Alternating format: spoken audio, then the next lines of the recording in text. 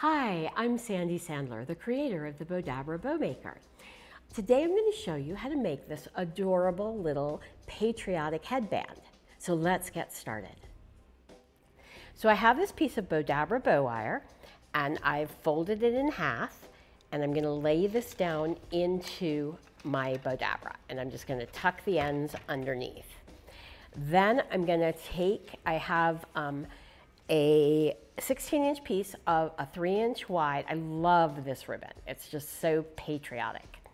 And all I'm gonna do is um, take the right side and I'm gonna put that downwards and I'm gonna do a little mountain in the middle here. And that's gonna make it so that we don't have to sew um, our bow to make the hair bow. And again, I'm gonna take the right side of the ribbon and again, I'm gonna make a little mountain, scrunch that down.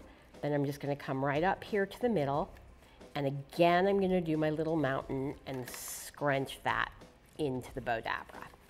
Then I'm gonna take my blue ribbon, which is exactly the same, and I'm gonna again take my right side of my ribbon, put it downwards, and scrunch that in, fold it over, and again, I'm gonna make my little mountain here, scrunch that in, and then I'm going to do my, I'll show you again how we make our little mountain in the middle and then scrunch that down. And so now we have our equal loops. And then I'm going to take this piece of Bowdabra scrunchy ribbon that's nine and a half inches, and I'm just gonna scrunch that down into the middle of my bow. I love the scrunchy ribbon to just add like that little flavor of flair.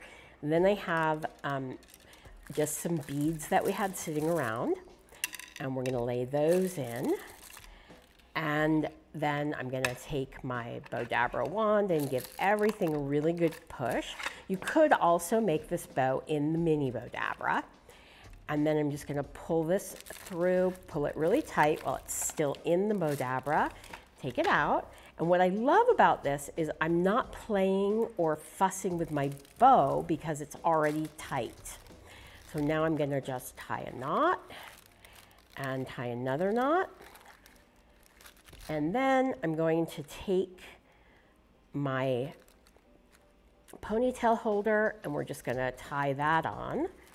So we're just, again, I'm just gonna double knot that. And then I'm just going to clip everything close in here. And now you have this super simple patriotic hair bow.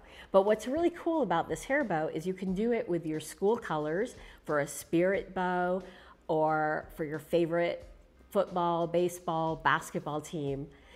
I hope you enjoyed this video.